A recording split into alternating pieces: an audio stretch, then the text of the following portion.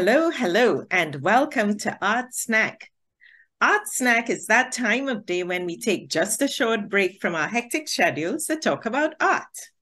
My name is Jennylynd James, and I'm an artist who enjoys painting in acrylic and making my characters come alive on the canvas. I'm also the creator of the course Succeeding as a Fine Artist Guidance, Tips, and Strategies. This course is available on Udemy and is ideal for helping the emerging artists make a living selling his or her art. The link is in the description box and you can find this course on Udemy. Also, please press the subscribe button so you can be alerted every time we speak with amazing artists from around the world. With me today, all the way from Port of Spain, Trinidad and Tobago, is Anika Plowden Corentin. Hello, Anika. Hi, how are you today? Fine, thanks. And thanks so much for joining me on Art Snack. Really lovely seeing you again. Well, Anika, please tell the viewers a bit about your journey as an artist. Well, I've been practicing art since I was um, very young, probably 14 in school. Yes. And I was always um, inspired by other artists, my teachers, um, creatives in Trinidad and Tobago, Yes. texture, movement, the energy. And um, although I didn't go straight into art when I left school, I had a different career path in, in communications. I Yes. really always used art as my anchor. And that's one of the reasons I decided, okay, here's what I really love this. I feel passionate about art, and I also feel passionate about how it helps others to express themselves. And that's a decision that I made to go fully fully into art and other ventures related to art. Excellent. So, would you like to tell us a little bit about your NGO and the, the role that art plays in that uh, venture? Certainly, I I am the creative director of an NGO. It's called Chosen Hands. It's a nonprofit, and we use art as a vehicle for healing, wellness, self-expression with both vulnerable groups. And when we, we speak about vulnerable groups, that can range in many areas because there's always a bit of vulner vulnerability Yes. in a lot of us. Right. Um, but we started off specifically working with vulnerable girls and women, and now it has expanded to working with young people and helping them to use art to express themselves in a positive way. Um, social change and art always go hand in hand. Yeah. And when I was growing up, the whole creative concept of the artist as a social concept, um, conscience also went hand in hand. And we realize now that um, young people youth, the youth in, in our country, um, they need to find a way, a positive way to express themselves and to give, send a positive messaging. And, and that's what we do with, we do in the NGO. So the NGO is comprised of um, professionals as well as other artists that donated time. We have workshops and we also have sometimes weekly sessions with, with homes and we Yes. teach art and self-expression. Okay, thank you so much. Very noble cause. Now, I'd like to see a few samples of your work. What do you have to show us today? Well, just to the back, we have this very large piece. It is the creative concept called the dancing belle. Yes. dancing belle is that woman that transcends difficult situations and so. So for me, she's a symbol of hope. Her hands are usually always outstretched. So if you look at it, that's her head, and this is her heavily textured fabric. She looks really beautiful, well dressed. Um, but a dancing belle could be of any nationality. Yes. She is you. She is me. She's Yes. friend you know. She's your mother. She's that woman who has been able to navigate life's challenges, but yet so. So this symbol is very near and dear to me. So when I started painting again in 2018 full time, Yes. um, I had just um switched my job. I was teaching part-time, lecturing part-time, and I was wondering, okay, my purpose, what do I really want to do? Yes. And that whole creative concept of the dancing belle emerged.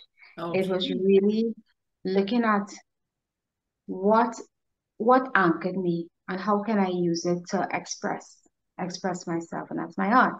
Yes. And the dancing belle also was inspired by a lot of women and mentors that I was exposed to who decided that they were going to follow their passion and purpose. So the dancing belle really for me is a very private, personal, and very public expression of how I feel as right. an artist, as a as a female artist, as a mother, as a wife, as a daughter, and how many women I see out there that have been really trying their best and they look very beautiful on the outside and they're very strong in the inside and they're really working towards achieving goals. This piece also is a depiction of the dancing belle and it's done in red and oh. her hands are almost outstretched. Yes, yes. Just, she just symbolizes a lot of hope and, and the textures, it's fabric that we that I would fabric. use. Okay. Yes. And, and what and, um materials going i know you use mixed media so please tell us some of the materials that you would use. Sure. I use things as simple as discarded cardboard. Oh. I use paper but acid free paper. I would use um, fabric. Fabric i yes. would use sequins. I would use twine. This one has a lot of twine in it. Oh to create the texture yes, to create the, the texture um, that's a starfish. It is an actual um, some shells that I would decorate. Oh, right, right. And I use molding paste. Yes. So Excellent. the piece at the back, this one, this piece speaks the, the creative concept called um, intimate thoughts. Okay. And I dream almost in color. I dream in color. Okay. So that particular piece is a very heavily textured piece mm. lovely to touch. And I know people said, oh my gosh, artists don't touch the work. I love people to touch the work. Oh, okay, that's different. it's good to touch because it's it's very heavily tested and I don't think it will get damaged. And if it does, I'll fix it. Okay. I love to touch it. Uh, there's some pieces that I really like the the viewers to, to touch and even the persons who purchase it because you get a lot of positive energy when you you touch the pieces and you realize your intimate thoughts my my intimate thoughts i dream in color.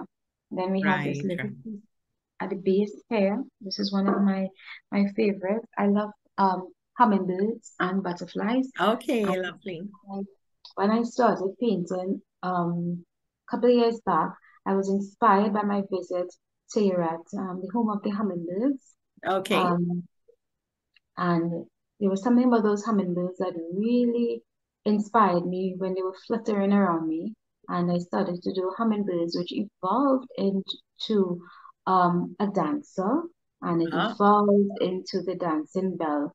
And then there's certain um, creatures that I, I, you know, that I really love. And one is the hummingbird, one is the Patty Mamswell, and I do love um, butterflies and the symbol of um, changing, change that comes with, yes. with the butterfly.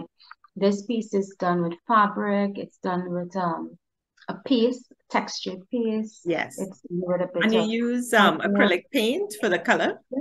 Yes, I have to use acrylic.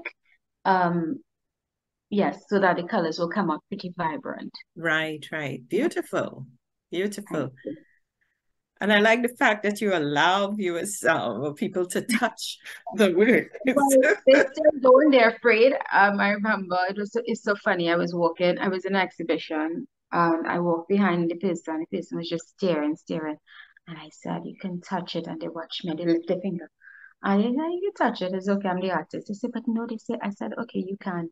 No, I'm not advocating for everyone. But there's some pieces that, you know, when you do touch them, the energy that you feel is so positive because right. I do my work with love. I yes. do my I, I produce my pieces with a lot of passion and I I do my pieces, I create my pieces with an energy that I want. I want the love, the energy, the purpose, the vibrancy to also translate in the person that is purchasing, the purchase, person who's who's owning it. My my desire um, is for persons to find their passion, whatever it may be, mm-hmm. and to use their time to to give back. And you don't know who you might be talking to that you might be planting these little seeds and yes. seeds of hope. And that's where I come back to the concept of the dancing belle because I have had several dancing belles in my life. right. who have deposited good things in, in my life and have yes. allowed me now to stretch my hand and to help others. Help others. okay. And while others are also stretching their hand to support and help me, like what you're doing with artists, which is phenomenal. okay. So Thanks for being a dancing belle. oh, you're most welcome. I enjoy it immensely.